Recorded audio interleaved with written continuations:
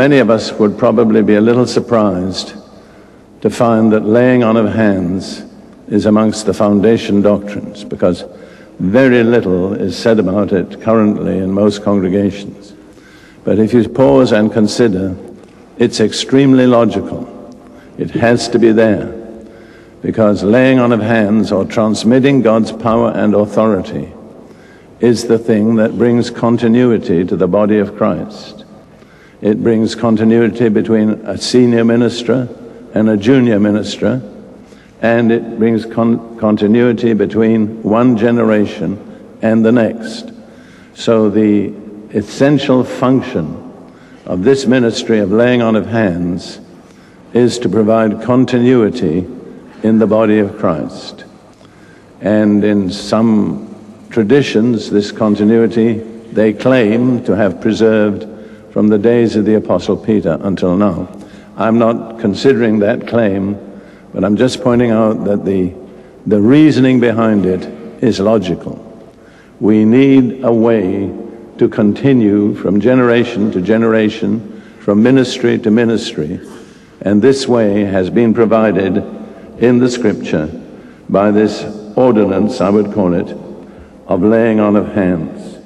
And it's interesting we find it in the first book of the Bible, and really it extends from then on through the whole history of God's people. It is an essential element in the history of God's people. I would say there are certain spiritual purposes which it embraces. First of all, let's notice the fact that to put your hand on somebody is a natural human reaction. A mother has a sick baby who has a fever. Almost without reasoning, she'll put her hand on the forehead of the child. Or two men meet who haven't seen one another for a long time, and in one way or another, they'll lay their hands on their shoulders or they'll shake hands, but they'll make contact with their hands. The hand is one of the main ways that human beings make contact with one another. Now, in the spiritual context, I suggest that there are certain purposes which are accomplished. First of all, to transmit. In the, in the Bible, we find the laying on of hands used to transmit blessings, authority, wisdom, the Holy Spirit, a spiritual gift, or a ministry. Let me just give you that list once more. It's used to transmit blessing, authority, wisdom, the Holy Spirit, a spiritual gift, or a ministry. And secondly, it's used to commission. It is the biblical way of commissioning, commissioning a person for a place of service in the body of Christ.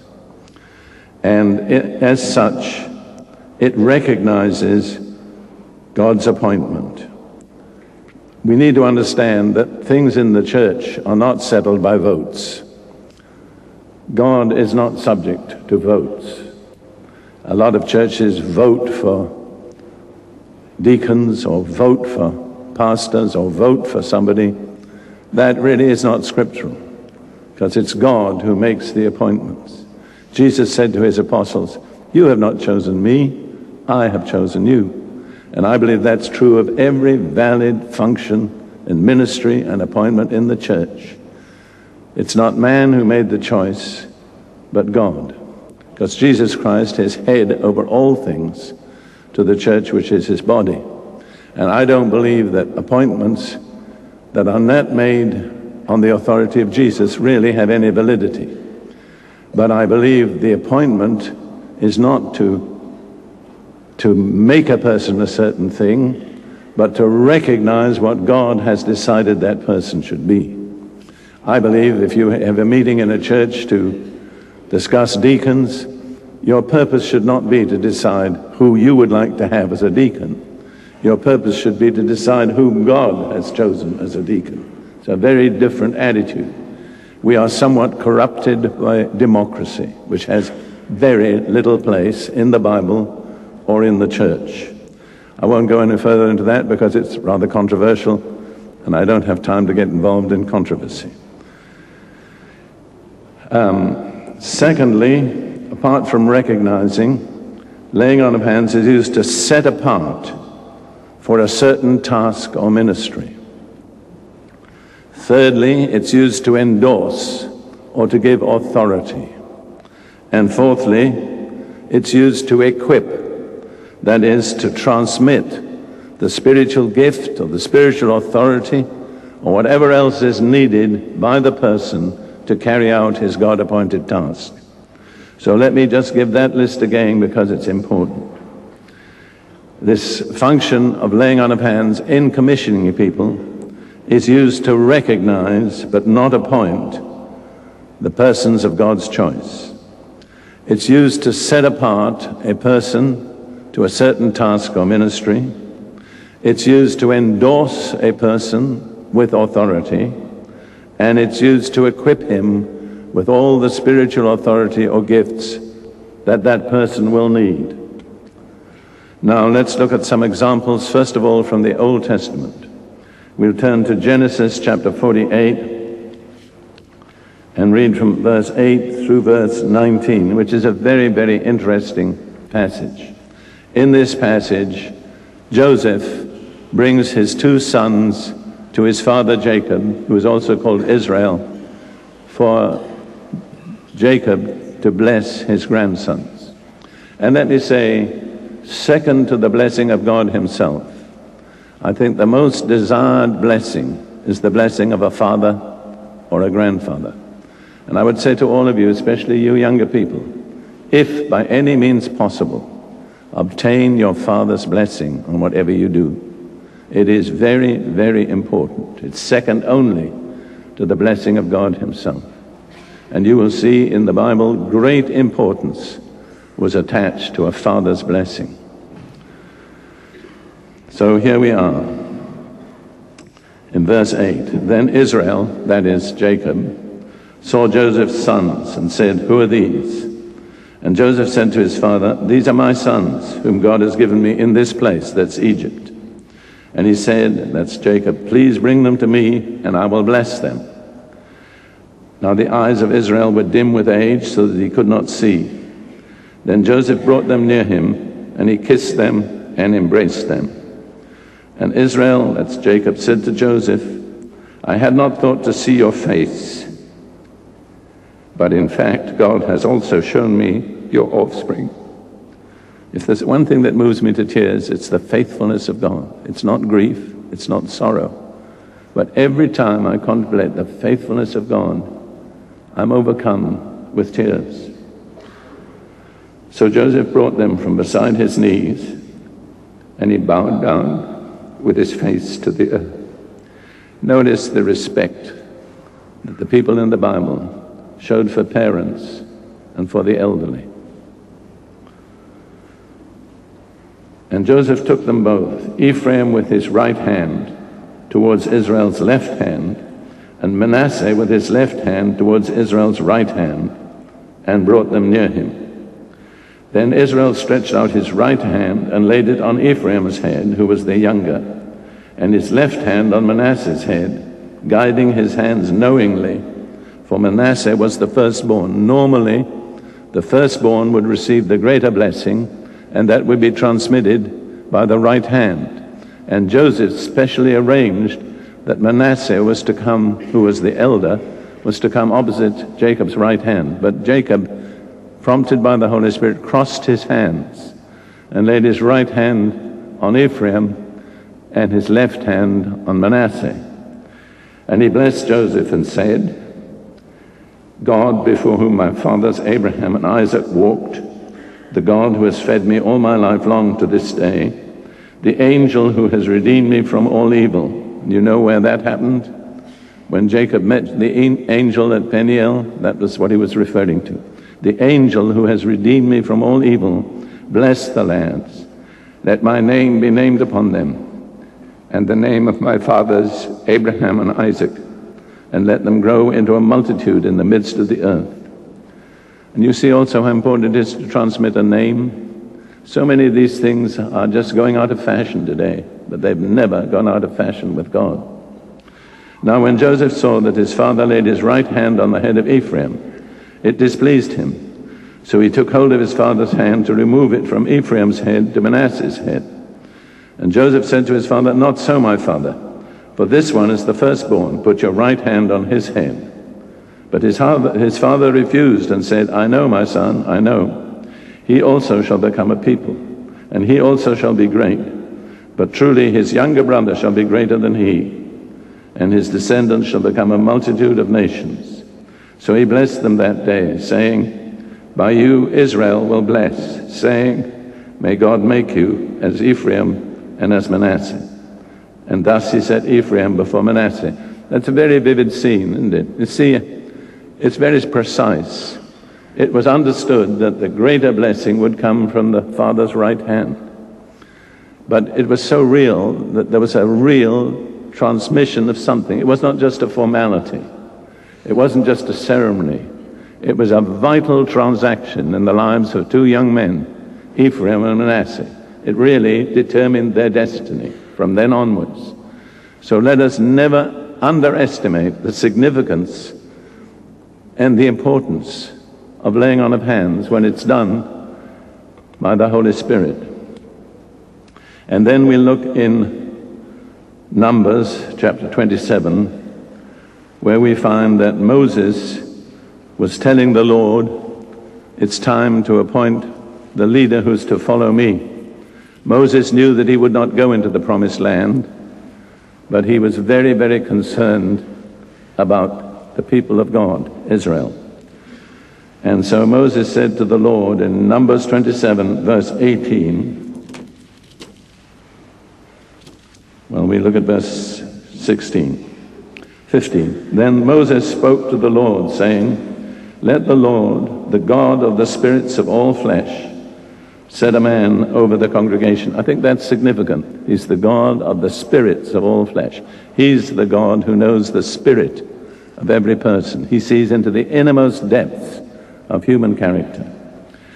Let, let the God of, of the spirits of all flesh set a man over the congregation, who may go out before them and go in before them, who may lead them out and bring them in, that the congregation of the Lord may not be like sheep which have no shepherd. And the whole Bible tells us from beginning to end that sheep without a shepherd will be scattered and will become a prey. It's a message that runs consistently throughout the Bible. And let me suggest to you that unless circumstances are very unusual, each of you should have a human shepherd who will watch over your soul and care for you. Very, very important. We'll come back to that a little later as we study some other things. So, how did the Lord respond?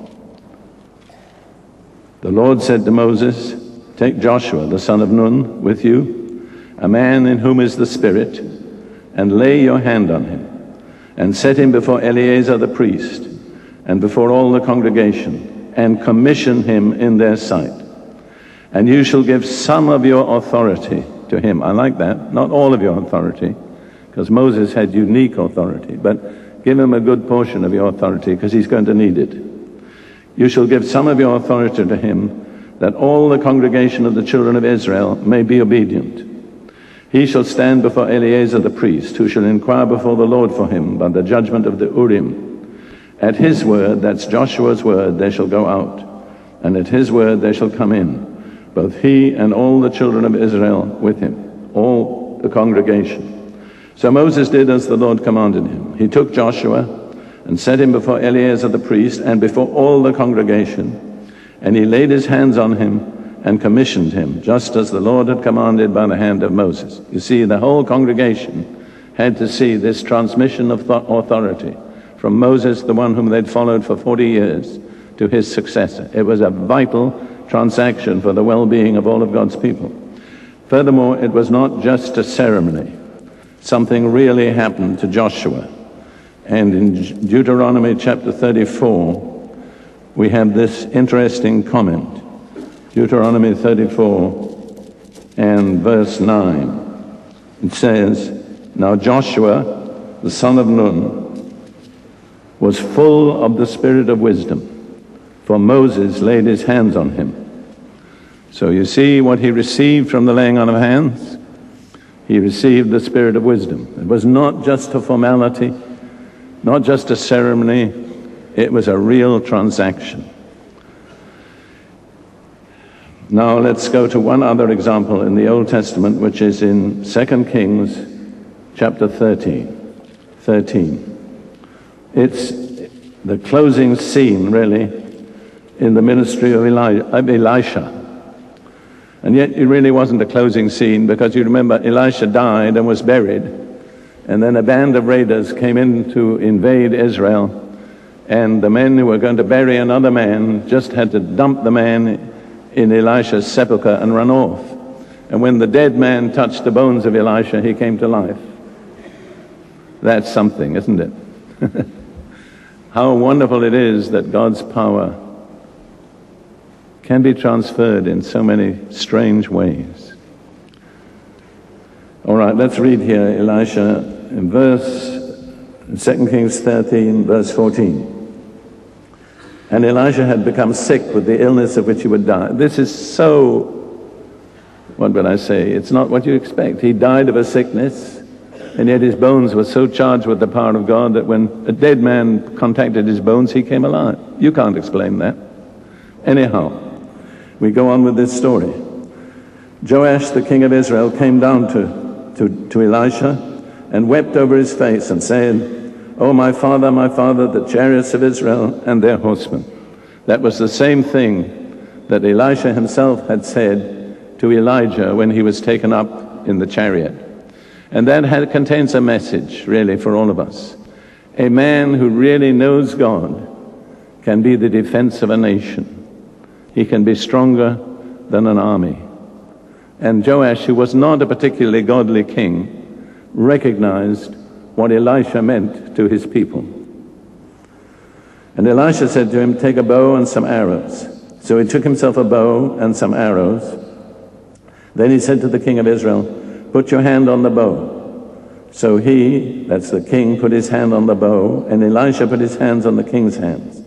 And he said, Open the east window, which was the direction of Syria, the enemy of Israel. And he opened it. Then Elisha said, Shoot. And he shot. And he said, The arrow of the Lord's deliverance, and the arrow of deliverance from Syria, for you must strike the Syrians at Aphek till you have destroyed them. And we find out that he struck with the arrows three times, and three times Joash defeated the Syrians. Elisha was angry with him because he should have struck more times. But what I want to bring out is it was the putting of Elisha's hands on the hands of the king when he held the bow that made it effective. Again, it's in the supernatural realm, but it shows that something real can take place when one person lays hands on another. Now, let's go to the New Testament. And I want to consider the purposes indicated in the New Testament for the laying on of hands. First of all, to impart healing to the sick. Jesus said when he commissioned his disciples to go out in Mark 16, 16 and following, These signs shall follow them that believe.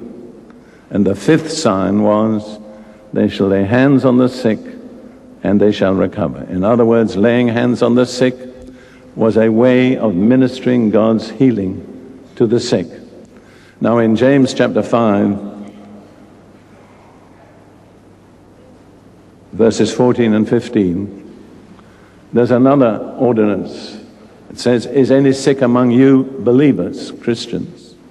Let him call for the elders of the church and let them pray over him, anointing him with oil in the name of the Lord. So that's similar. They're to pray over him, they're to lay hands on him, but they're also to anoint him with oil. And oil, as you know, I'm sure you know, is a, always a type of the Holy Spirit. So the oil didn't produce the healing, but it symbolized the release of the Holy Spirit through that ceremony into the body of the sick person. Now, I just have a suggestion to make. What's the difference between just laying hands on or laying hands on anointing with oil? I suggest to you, and this is just approximate, that the laying on of hands without the anointing of oil was for people who were not members of the church. But for members of the church, the ordinance concluded anointing with oil. And again, I want to point out to you that the New Testament indicates that normally every believer should be part of a congregation. For he says, Is any sick among you Christians? Let him call for the elders of the church and let them pray over him, anointing with oil. Now, if you go to one church on Sunday morning and another church on Sunday evening, which group of elders will you call for? And if you don't have elders to call for, what will you do when you're sick? See, in other words, the New Testament assumes, with various exceptions, that a believer shall be a member of a congregation known to the leadership, recognizing his leadership, and having available to him the ministry of the leadership. I feel God wants me to emphasize this. I feel some of you are like the mountain goats. You're way out ahead of the herd and you don't have a shepherd. And that's a dangerous place to be. It's humbling to submit yourself to human authority. But God blesses the humble and he resists the proud. So you have to choose. Now, I, there are exceptions. There are situations in which this doesn't apply, but don't be an exception if you should be part of the rule. Then, the next purpose for which laying on of hands was appropriate is for the imparting of the gift of the Holy Spirit. And in Acts chapter 8, we read, first of all, how Philip went to a city of Samaria and preached Christ, attested by miracles and signs, and all the people in the city who believed were baptized. So they were saved, because Jesus said, He who believes and baptized shall be saved. But the, the apostles were not content, because they knew there was something missing. So in Acts 18, verse 14, it says, Now when the apostles who were at Jerusalem heard that Samaria had received the word of God, they sent Peter and John to them, who, when they had come down, prayed for them, that they might receive the Holy Spirit. For as yet he had fallen upon none of them. They had only been baptized in the name of the Lord Jesus. So that is, again, as I pointed out yesterday, a very clear indication that it's possible to be saved without having, in this sense, received the Holy Spirit. And the Holy Spirit there is spoken of as falling upon them, what I called immersion from above, a Niagara Falls immersion. Now, verse 17 says, Then they, the apostles, laid hands on them, and they, the believers, received the Holy Spirit. Now, when Simon the magician saw that through the laying on of the apostles' hands the Holy Spirit was given, he offered them money, saying, Give me this power. But you see, it says there, through the laying on of the apostles' hands, the Holy Spirit was given. And in the next chapter, after Saul had had his encounter with the Lord Jesus on the Damascus Road, while he was there in a house in Damascus, unable to see, fasting for three days, Ananias, a mere disciple, not an apostle, not a prophet, just a disciple, received directions from the Lord to go to the house where Saul was, lay hands on him, pray for him. And it says he laid hands on him, and his sight came. He received the Holy Spirit, and he was baptized. So understand, laying on of hands is not limited merely to people with a special ministry. In the context of God's will, any person can be directed to lay hands on someone else. Ruth reminded me while we were sitting in the office. This is really rather an unusual story. We were in Kona in Hawaii, and I'd been very sick. I was still far from recovered. We were walking down the main street, and a man ran up to us, came up to us, and said, Will you pray for me? I'm, I'm sick. I said, What's the matter with you? He said, I was electrocuted, if you know what that means. I mean, he received the full charge. He was an electrician and his shoulders were paralyzed. He couldn't raise his hands higher than that. So I was rather reluctant to do it in a way, but he was persistent. So we stopped in the middle of the street, right outside a restaurant, and we prayed, and Ruth laid her hands on his shoulders. The next day, in the devotions at Youth with a Mission, he put his hands right up above his head. He had experienced a miracle through the laying on of hands. Later on, he came to see us when we were ministering in Arizona, and he told us that he'd been to a doctor for a checkup. And the doctor said, I've examined your shoulders. There's no way possible that you could ever get your arms above your head. well, that's just a little example of what laying on of hands will do. Um, again, in Ephesus, we've looked at this before in another context. Paul arrived there and found certain disciples, but they were only disciples of John the Baptist. Paul explained the gospel to them. They were baptized in the name of the Lord Jesus. And when Paul laid his hands on them, they spoke with tongues and prophesied. So, laying on of hands is a very scriptural way to transmit the power of the Holy Spirit. Actually, there are five main examples in the New Testament, and it's interesting. In two cases, on the day of Pentecost and in the house of Cornelius, it just came sovereignly from God. In the other three cases, that's in Samaria with Saul of Tarsus and in Ephesus, it was transmitted through the laying on of hands. So it's a question of how God leads. I've had the privilege of leading literally thousands of people into the baptism of the Holy Spirit. My particular strength is to get people to believe that if they seek the Lord, they'll receive. I do lay hands on people, but not usually. And I can say, by the grace of God, I've seen thousands of people receive direct from the Lord.